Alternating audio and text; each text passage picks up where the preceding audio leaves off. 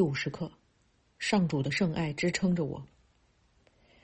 首先，我们看到第一段的第三句：“你把信心置于微不足道且疯狂至极的象征之物上，药丸、金钱、护身衣、权力、地位、人们的爱戴、结交正确的对象，以及数之不尽的虚幻事物，你一一赋予了他们无比的魔力。”好，我们看看这些象征之物都是什么东西，它们象征的意义到底是什么？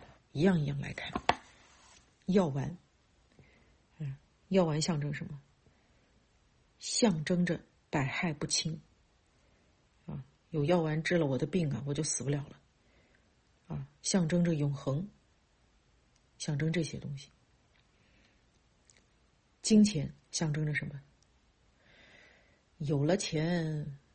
我就自由了，想去哪儿去哪儿，想干嘛干嘛，想买啥买啥，我再也不用朝九晚五的上班了，啊！所以金钱象征着自由。再接下来护身衣，啊，跟药丸相似的，百害不侵啊，永恒啊，这种特性，对吧？再来，权力、地位、人们的爱戴，这个象征着什么？不知道哪高人一等啊，不知道哪儿觉得好神圣是吧？象征这种神圣的特性。再来，结交正确的对象，这是干嘛？这象征什么？象征那个爱啊！结交正确的对象，我就获得了爱，拥有了爱，从此我就幸福了。还有这个数之不尽的虚拟事物。再比如说，对吧？钻石，哈哈，好神奇的所在啊！是个女人都喜欢的，不管她是亚洲的还是北美的，不管她是欧洲的还是澳洲的，啊，钻石恒久远，一颗永流传。就算哪个女人结婚的时候没有买一个钻戒啊，没有没有要求对方一定要用这个钻戒来跟她求婚的，也不能代表。她对钻戒一点点感觉都没有，对钻石一点点感觉都没有，对钻石一点点都不喜欢，代表不了，就是这么一个神奇的所在。大家到底投射了什么东西在上面？投射的还是永恒啊！然后在这个求婚这方面，讲到钻戒这方面，投射的还是爱！说来说去。我们赋予它这些无比的魔力，都是在干什么？大家考虑过没有？其实这些象征物啊，都是在象征着上主的属性，也就那个空性的属性，那是家的感觉，源头的感觉，知道吧？咱们在世间看似要这要那，跟着了魔似的，啊。在这些微不足道、疯狂至极的象征之物上面，花费自己的心思，跟着了魔的一样的那个状态，到处抓取，到处各种 expectation 要满足啊，一个接一个的目标，我们到底在干什么？我们要的不是这些东西，我们要的是上主的，因为这些东西都是上主的替代物啊。我们各自投射了上主不同的属性在这些东西上面，所以我们真正要的不是这些，我们要的是上主。换一句话讲，再彻底一点，啊，心都拔凉拔凉的了。这个世界根本没有我们想要的。接下来我们看到第三十四课，即使在这世上，我仍能看到平安。我们也曾经分享过。看似我在为我人生赢家的剧本奋斗这奋斗那，啊，并且抓着我的家人一起来为我这个圆满的愿景一起奋斗，各种抓取，这真没消停的时候啊。但本质上是什么？本质上是我抓取到这些东西，我就平安了。如同我们今天分享的，啊，为什么？把信心置于这些微不足道且疯狂至极的象征之物上，因为我抓到这些东西，就感觉如同我抓到了上主，回到了源头。抓取这些东西获得的感觉，就是我把分裂之念当真以前的那种在家有着落的感觉，有爱的感觉而且平安本身也是源头的属性吧。啊说起来，什么百害不侵啊、自由啊、永恒啊、神圣啊、爱呀、平安啊，都是一回事儿，不就是上主的属性吗？所以我们可以结合这两课一起来看，这个时候比较有感觉。所以啊，今天、明天，任何时候所面所面临的任何问题，究竟是什么问题？其实呢，就是我们以为自己从天国失落了，以为自己是一个流浪儿，流浪太久太久了，离家太久太久了，想家的问题。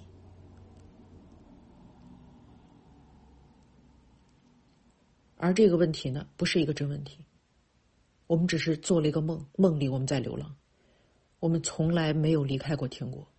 从来就不是一个流浪儿的身份，所以，啊，上主的圣爱支撑着我，我根本就没离开过啊。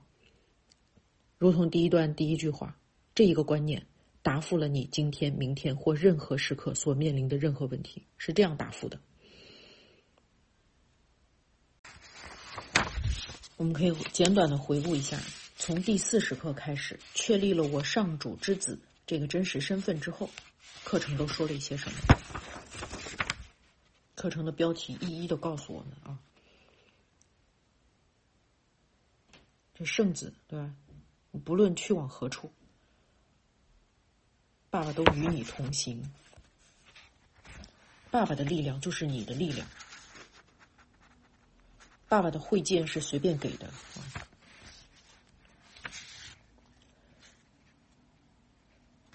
爸爸就是这个圣子的上主，爸爸就是圣子的生命根根源。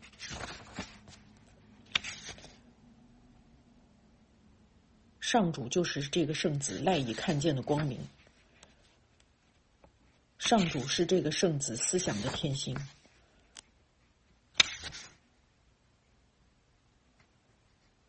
上主的这个爱是圣子的圣子宽恕的基础。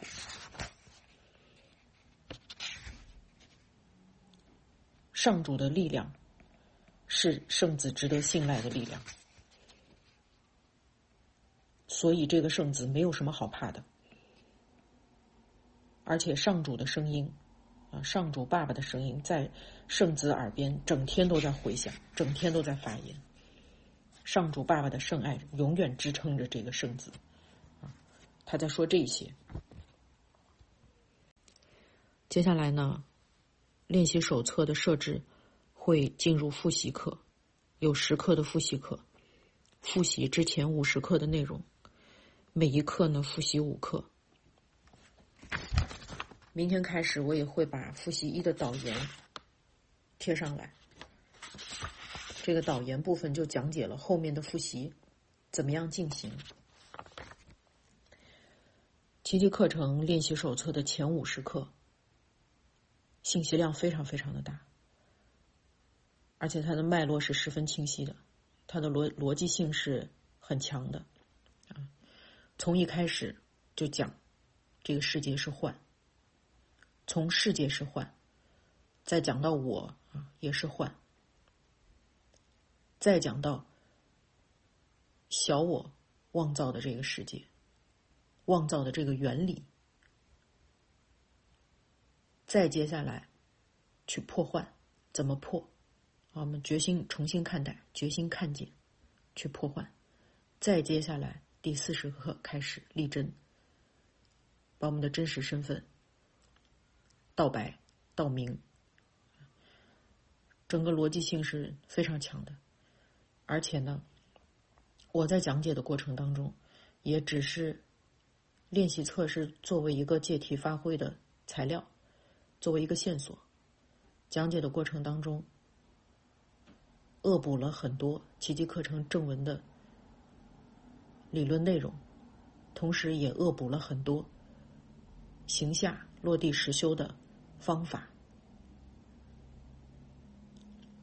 呃，归根结底呢，就是想再再的提醒各位，进入复习环节的时候，请大家能够重视。啊，当然这个看愿心，对吧？可以很重视，也可以很不重视，本身没有问题啊，只是出于提醒。前五十课的内容扎扎实实的复习不为过，后边的那些展开。反而没有这么大的信息量，后边的讲解不一定会这么的详细，不一定会每一课有这么多的知识点，有这么多干货，不一定。后面的讲解我们会根据情况啊加其他的补充材料，并且是在已有的基础上着重落地实修的部分。因为最重要的是，我们要怎么样把它用出来？就生活中方方面面，多大多小的事儿，只要我愿意用这种目光，我都能把它用出来。多大多小的事儿，只要我愿意提着觉察，我都能从中发现自己的模式。这个才是重中之重。在我们未来的这个讲解过程当中，行下的内容。实际贯穿的内容会越来越多，但是基础离不开前面这五十课，所以再再的提醒各位，复习的环节，如果是真的有这颗愿心的，复习的环节，值得把前面五十课好好再走一遍。接下来我们进入全然允许练习一个新的单元，只有此刻的第一天。这个练习呢，讲到了现行时空是假象，只有当下这个片刻是真实，同时也讲到了啊幻象当中的小因果不是真正的因果，嗯，只有我的心是因，世界是果，这个才是大因果，才是真正的因果啊。那么这些在我们之前前五十课的讲解当中，其实都已经提到过、讲解过了。我就不再过多的赘述了。接下来呢，我会就茉莉上午在群里的提问做一些回应。这个是一个好问题啊。同样一个念头出来，我很难区别哪一个是小我的，哪一个是圣灵的声音，哪一个是我的声音，哪一个是天音。我搞不清的，好问题。那我在这儿呢，就从几个方面来讲一讲，可以参考的，去鉴别这两种声音的方法。首先啊，我们都知道小我的声音是来自于头脑的，头脑靠什么？先下定义，然后再关联、编织、编故事，对不对？也就是说，小我是建立在强逻辑上面的。就当一个声音它出来的时候，就在你的这个故事结构里前因后果的这种声音，甭管它包装的多机灵、多神圣，啊，通常都是小我的声音。天音出来的时候，就如同是。我们那个直觉，也就非逻辑脑，这种声音进来的时候，没有前因后果的。有的时候不知道哪儿你在想这一个事情，突然蹦出来一个别的声音，跟这看上去好像八竿子都打不着似的，啊，这种声音很有可能是天音，也不叫很有可能吧，比较有可能是天音。这是第一种，可以参考，用来区别我的声音、我的音和天音的区别，对吧？第二种，这两种声音带给我们心里面的感觉啊，有的时候不知道哪儿嘣出来一个点子啊，感觉挺像天音的，没有前因后果，对吧？灵光乍现，嘣出来一个点子，嘣出来一个声音，老有感觉了。哎，这个要么大概是天音啊，是圣灵的声音，自我感觉老好，自鸣得意，好厉害！这这点子不是一般人能想出来的啊！或者说，哎，我还能怎么样识别出天音了？有两下子啊！如果有这种感觉的，抱歉，往往不是天音啊。刚才我们出现的一系列的感觉，一系列的这种反应，恰恰是小我被喂饱的声音啊！小我被喂饱的感觉。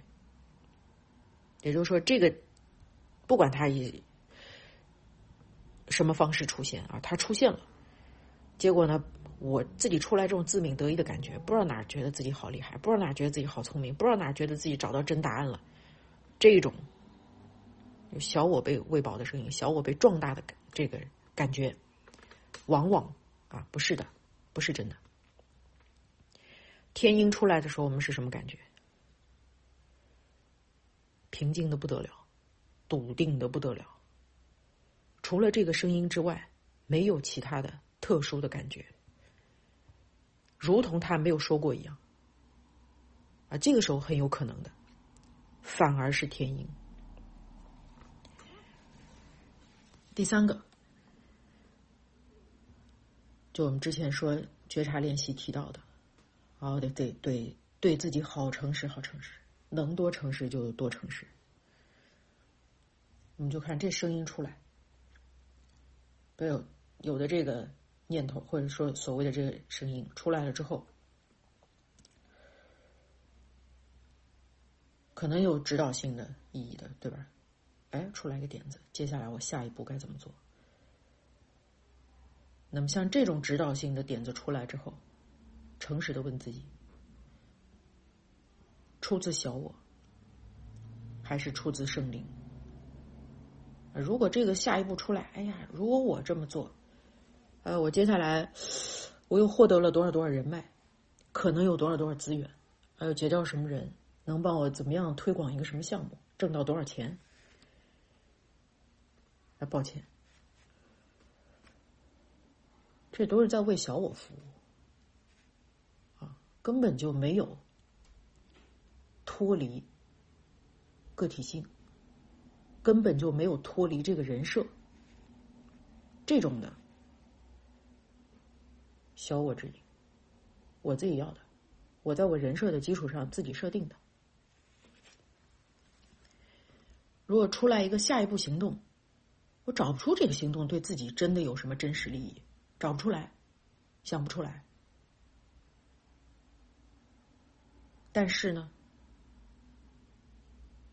他可能对大家都挺好的，这大家可能包括我，也可能不包括我，啊，也就是说，他是出于一个整体性的，哎，这一步行动，出于对一个整体性特别好的，有一些利益，这个时候有可能，很有可能是天鹰，好吧？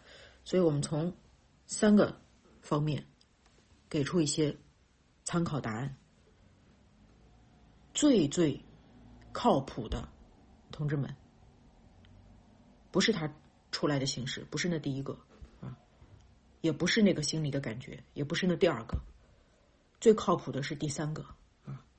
还是那句话，小我底下的小九九，我自己最清楚了。随便蹦出来一个什么念头，是不是为了我自己，我最清楚了。如果是为了我自己的，还用说吗？就是小我的声音。如果不是为了我自己，OK。只有这两种，不是为了我自己的，就一定是天鹰了。只有第三条是最靠谱的。